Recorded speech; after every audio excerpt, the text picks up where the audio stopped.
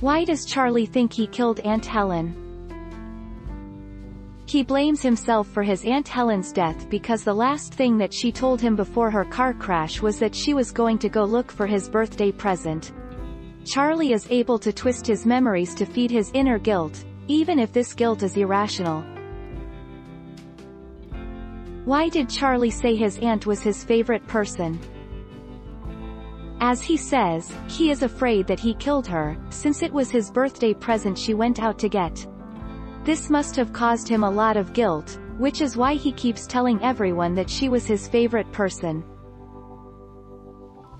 Don't forget to subscribe for more of these videos.